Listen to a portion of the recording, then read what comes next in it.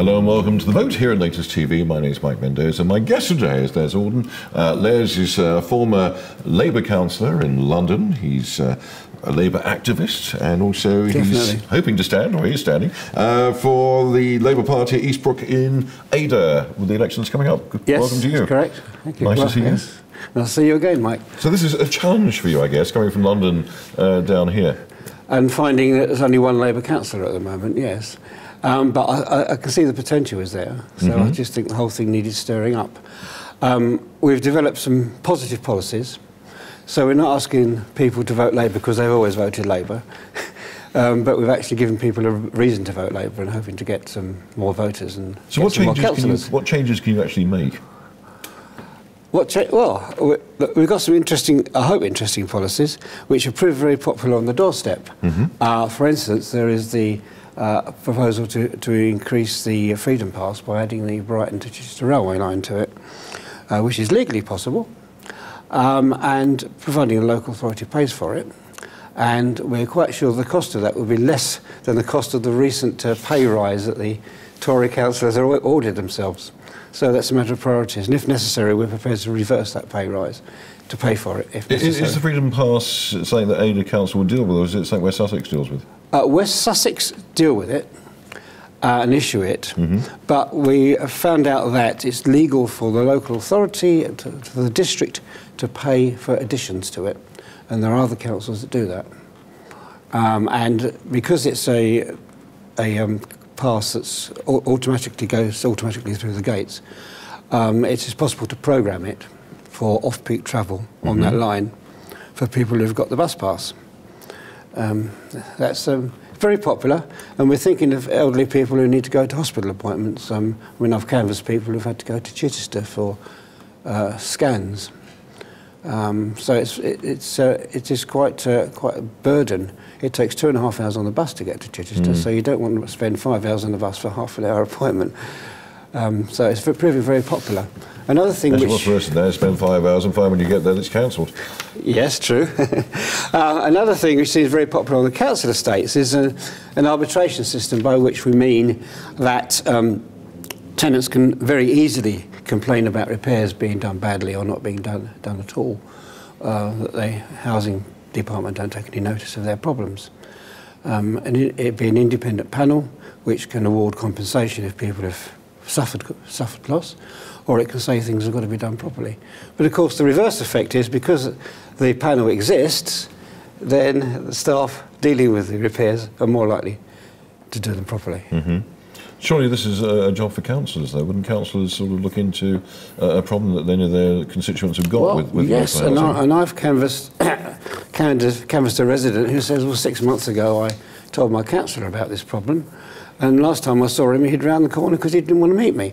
So that's the sort of thing that people are get upset about. This is what elections are all about. Yes, that yeah. You can, uh, so you're not happy with your candidate or your yeah, I mean, you change. This has to be negotiated with the tenants movement, of course. Uh, but a typical um, way of doing it would be to have a panel of three, an independent chair, which is quite often a local clergyman, but it doesn't have to be, uh, a councillor, and a tenants rep. Tenants rep from a different area to the, where the problem is. So that together they can work out what is a reasonable thing. What about tenants' associations? Is that not worth forming? Well, I believe there are tenants associations in various places.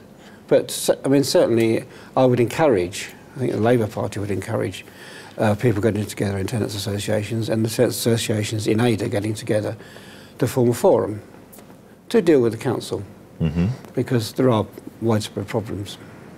When you speak to any, any councillor, I think uh, majority would say that most of the problems they are they do have is actually with, with housing. Yes, if you're a council tenant, then most, yes, that's right. Ca- councillors doing surgeries will find that most of their problems are housing. And would, would you have a surgery? Um, we're promising it, yes. Um, certainly, you know, once or twice a month in various places, um, inviting people to come along. And it, I think people value that because they know that for you know a certain Friday evening or Wednesday evening or whatever, they know you're going to be there waiting for them. How, how confident do you feel? About, I th- well, I'm, I think we're going to get a number of councillors in this time. Um, this, the number of votes involved in all these wards is very small because the turnout's quite low. Uh, they're very small walls anyway. Adur's a very small authority. Uh, so, you know, to, to, for a 100 vote swing, you've only got to get 50 people to change their mind. See, with uh, I mean- certainly as far as Adur and Worthing are concerned, you've got the PCC uh, election the same day, which may bring a slightly larger turnout.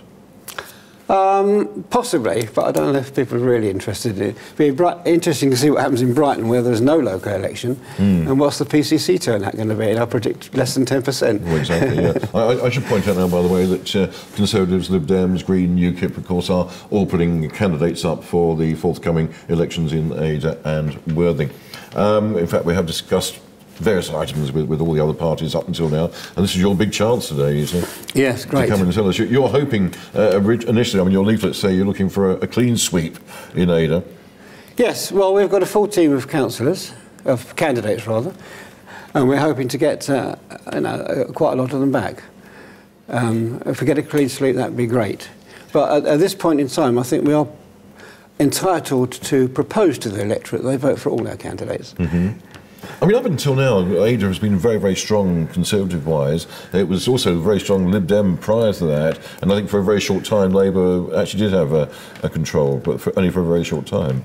Yes, I mean, I got a feeling that uh, a lot of these current councillors and candidates are simply jumping on a bandwagon because they think that's the best way to get personally elected. But I, I can say that applies to none of those uh, 15 Labour candidates there. They're all sincere about our policy and our, the, the manifesto that we've developed. Are, are you looking at national policies and manifestos, or are you looking just for a local one? We're just looking at local things, yes. But uh, we do find that uh, on the doorstep, n- the national Tory policies do have an, a negative effect on people's perception of the possibility of voting for Conservatives. So, I mean, another one, you, you were talking, uh, I think you're looking at um, return to a committee system. At the moment, of course, uh, Adur and Worthing are both on, on cabinet yes, most, defin- most definitely. Um, when people vote for their local councillor, they expect that local councillor to know what's going on. And in the current system, where you have an executive member who makes decisions, uh, the, the backbench councillor doesn't know what's going on. Um, the argument people put up is, well, there's a scrutiny system, but the number of items or issues that a scrutiny panel can look at in a year is very low, whereas in a committee system, every item is on the agenda. Um, councillors can turn up, they can question every item, um, and the number of items is dealt with is going to be much, much higher. Um, so I think that's, I think it's an essential one uh, to be um, democratic. Can uh, decisions by uh, cabinets be called in at any time? Yeah, they can be called in, but not. You know, it doesn't happen very often, and it only happens on very big issues. Whereas, if, uh, if a local councillor can see on the agenda an issue that affects their ward, they can raise it, uh, explore it, see whether they want to do more about it. Otherwise, uh, backbench councillors say they're just in the dark. The, the reason, I, mean, I know that when UKIP uh, became the opposition on on um, Adur Council, uh, the first thing they brought up was to get rid of the cabinet system. Yes, in and fact, go back to committee. and I believe they, I believe they proposed every six months, which is the period that you have to wait before you can do it Yeah. again. Uh, but, but the argument's always been on, on finance, hasn't it? Uh, the cost of going back to a committee system. Well, you have to pay for democracy, and uh, certainly that needs exploring. But uh, I mean, I think it's so essential that backbench councillors uh, do have a say and, and know what's going on. That's the important thing. They must know what's going on on behalf of the, the people who elected them. You, you mentioned at the beginning there that the, the council gave themselves a, a rise prior to the, the budget recently. Yes. Um, you, you want to change this. I mean, you can't reverse it, surely. If we had a majority, we could reverse it. Um, you know, there are, there's, there's things we want to spend money on, particularly the, um, the extended freedom pass. Um, and our proposal would be that we reverse that latest decision to, to get the money for the freedom pass. It's a matter of priorities. Because being a councillor is not about um, you know, putting a snout in the trough, it's about public service. That's what we feel. Okay. Um, although Adur was the lowest paid councillor in the country. Well, so what? so what? you know, when they put when, when they voted this latest pay increase, they had the cheek to say we're still not as high as Worthing, so we want more next time. Yeah. It's about public service, you know. Yeah, yeah. So it's, it's really. Yes. I mean, I think the idea of bringing the extra money is, is to try and get younger people involved, isn't it? To make them more more worth their while to give up well, other things. I don't think any of our candidates are standing for the money. As, as, it should be. Yes. We're talking to Les Alden. Les is the uh, Labour activist and standing for Adur Council in the forthcoming elections for Eastbrook Ward. Uh, we'll be talking about uh, Les, his career, and uh, about Adur Council and the elections, election scores coming up, and a lot more things as well after the break. You're watching us here at Latest TV. This is The Vote. My name is Mike Mendoza. I'll be back straight after the break. Don't go away. It's going to be very interesting.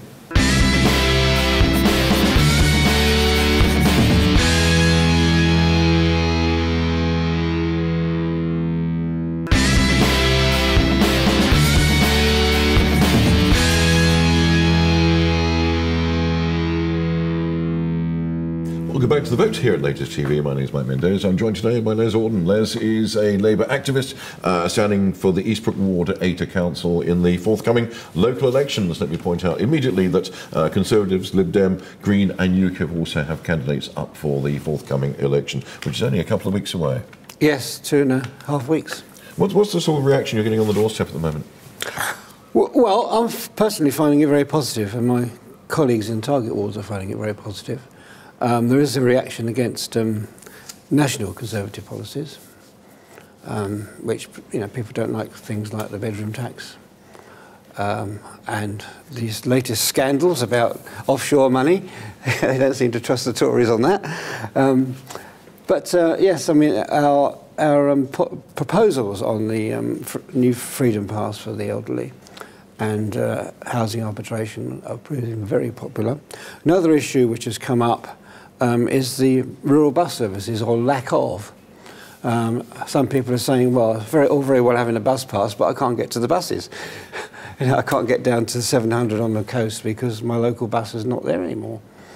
Um, particularly in East Ward, which seems to be cut in two by the railway. And you, if you're above the railway, you can't get down to the. What uh, representation have you got on West Sussex at the moment? Um, around here, none. I think there are some in, from, from the Crawley area. Mm. Mm, but that's next year. Yeah, I mean, I mean, a lot of the, the things you are talking about, of course, really West Sussex deal with rather than, the, than Adur. As you mentioned before, Adur is a very small uh, authority compared to a lot of other areas. Yes, but Adur councillors should be pushing the county council to do things. Uh, one particular thing, of course, is the uh, sheltered housing. Now, the sheltered housing is run by Adur as a housing authority. But the uh, care, care, and support is provided by the county because it's a social services matter. And the, they have decided, or let me say, there are, four, there are 14 shelter housing units in Adur, over 300 residents. There were eight support officers, and one of his stories that the support officers are keeping people out of adult care homes because of the support they can give to people with dementia, people who need a bit of encouragement to take care of themselves. Um, but the, they've all been given notice of redundancy from September. Um, they don't, well, they don't know what's going to happen. No, there's nothing in the new Adur budget to pick this up. So all those people are going to be left without the support they've been used to. And in, in some cases, it's going to put them straight into adult care homes, which is not, not government policy, it's not a good policy, it's no one's policy to do that. And Adur seemed completely, Adur Council is completely unconcerned about this problem. It will hit them in September, but it'll be too late then. There's nothing in the budget. They ought to have sorted it out by now. You say you want to improve Fishersgate and Southwick, and of course, where you're standing is, oh, yes, edges yes. onto that yes. that area. Uh, what, what improvements well, that is, that is the want? area. Yeah. That is the what, area. What's your main issue there? Um, well, there are a large number of council flats, council estates, council houses, some some some semi-detached council houses. Um, I think what the council needs to accept is that council tenants have got as much right to a nice environment as anybody else. And when you walk around, there are some issues there, some problems where it's not quite nice. It's not the high standard that you might expect in parts of Shoreham or parts of Lancing. Um, and people are entitled to a nice environment, so the, the council needs to take a fresh look at what they've actually got there. Um, Adur, well, Eastbrook in particular, but Adur in general, is very low on the um, Health England's index of deprivation. And surprisingly, Eastbrook, you wouldn't believe this, Eastbrook ward is in the highest category for excess deaths of the elderly, as published by uh, Public Health England, and it's on the Adur website, but they're not doing much about it. by excess deaths of the elderly, it means you look at the statistical age group and when you, mm. how long you expect people to live, and the excess of that is is high in Adur is the highest group in England. So, what can you do to help? Well, um, one needs to needs to. So it's easy to criticise and, yes, point right, out what right. Well, problems, obviously, yeah. mm. the welfare services come under the county, but the, the, the Adur Council should be exposing these things and shouting very loud for improved resources for elderly people. It can be clubs, it can be more home helps. You know, just because the the county deal with certain things doesn't mm. mean to say you forget about them. Yeah, you yeah. just shout about them. I mean, Fishersgate has come up a lot over the last few years compared to how it used to be. It was very, very a depraved area. That, totally, you mean not depraved? that, that, that, has changed a lot over the last few years. Though.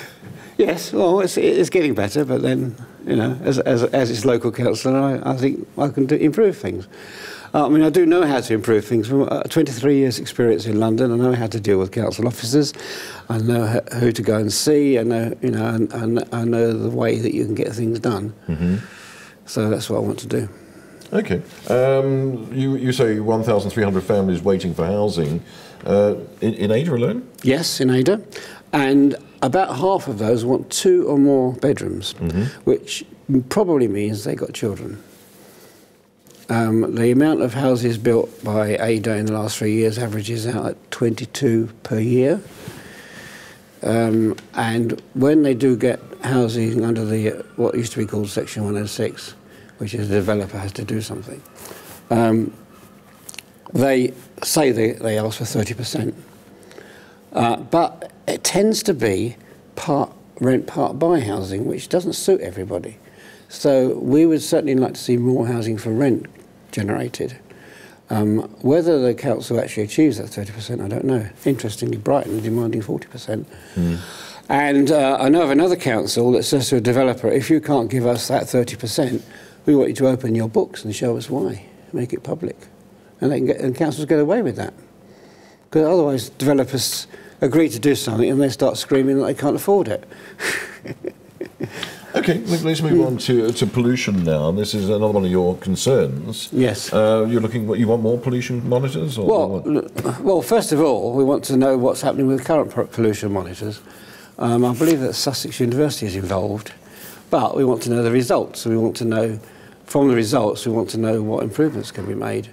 Um, that and we're talking about Shoreham High Street, where there is, there is a monitor yes, there, that's right. uh, just by the opposite, mm. the, um, by, by, the off licence there. Um, that's been there for many years. I know yes. sometimes it wasn't working, sometimes it is mm, working. Yeah, well, we but the high street itself has always been a problem, mm. uh, mainly because of the heavy traffic that goes down. And there's, there's not no real alternative for uh, lots of lots of cars, unless you're going to put them down the uh, the other road off the uh, A27 down to mm. down to the roundabout. Um, which are going to upset people who go who live well, in that road. there, there, I mean, there was a time where, where heavy traffic, the, the, the large trucks, mm. were told they had to use the, the, the boundary road to, to, come into Portslade and Shoreham. Uh, rather than actually go down through the old, the old shore, the old, mm. old Shoreham yes, road, yeah. uh, off the roundabout there, mm. and then come on through the high street. I mean, the high street wasn't built to, to cope with that type of traffic. No, no, it wasn't. But uh, there's no practical alternative. I mean, it's no good saying they shouldn't go there, and we, oh, it should be a pedestrian-only street because there's no practical alternative at the moment. Um, one might have an idea that the old railway track, which is now the South Downs Link, could provide the basis of a relief road, perhaps, um, so that people could go off the A27 and then down mm-hmm. to the Worthing direction. Okay. But The- whatever you propose, there's going to be somebody against it. You can't sure. please everybody. Yeah, yeah. yeah so, what else about pollution, pollution monitors. What, what, are you, what are your concerns? Well, we'd like, we'd like more. Um, we, a But what do you do with them once you've got them? Well, find out what the results are, Mm. and then you can decide what changes you need to make. It's no good, you know. Got Have you seen any of the readings that come out so far? no. The readings so far over the last four years, which, Mm-hmm. which I know about, uh, say there is no problem. in a, in the high street. Yeah. Which surprised me, actually. Yeah, yes. Um, you, do you know the, um, the skate park near Yeah. the old civic offices? Yeah. That, that must be very heavily polluted, but there's no monitor there. Because you've got cars waiting for the, zeb- the uh, level crossing. Mm-hmm. You've got a lot going down the main road. Um, it's got the skate park has got traffic on three sides. That's something we need to tackle. What, what uh, you're talking about just the, the pollution from that area? Yeah, but how are you of that how are you going to solve it? Well, perhaps it's the wrong You place can't stop for the a skate traffic. park. You can't stop the traffic. Perhaps there. it's the wrong place for a skate park. Well, that was saying that was forced on the council by, by the young people. They particularly wanted it there. Well, uh, the, the, there's, Actually, go- there's going to be a one at large- Lancing Green. I, I've got to tell you, there was quite a large Labour um, number of councillors when that was passed Hmm. at the time, and they never objected to it. well, I'd like to be sure it's safe for young people. Okay, what was it? You were talking about Southwick, or were, were you talking about another Lancing? Was it? Well, there's a, Another ska- a skate skate park. There's going to be a skate park on Lancing mm-hmm. Beach, isn't there? There's plenty of room Green. for it, that's mm. for sure. Yes. All right, Les, mm. thank you so much, Steve, for coming in. I appreciate Okay. that. Thank you, and good luck. Thank you. Less than two weeks away. He'll be fighting, knocking on your door very, very soon. Uh, Les Alden's been our guest, uh, standing, of course, for the Eastbrook Ward at Adur Council. Just remind you once again, Conservative, Lib Dem, Green and UKIP also are putting up candidates at the forthcoming Adur District Council election. My name is Mike Mendoza. Thank you so much, Steve, for your company today. This has been The Vote here at Latest TV. Another edition coming up very soon. Thanks for your company. Bye for now.